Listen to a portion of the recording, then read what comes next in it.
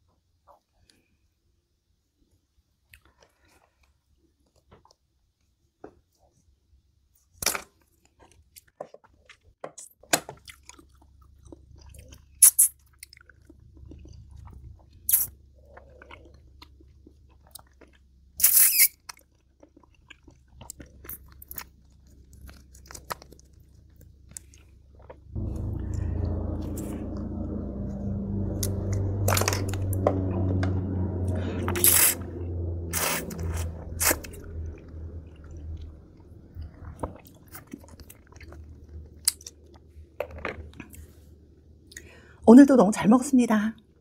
잘 먹었습니다.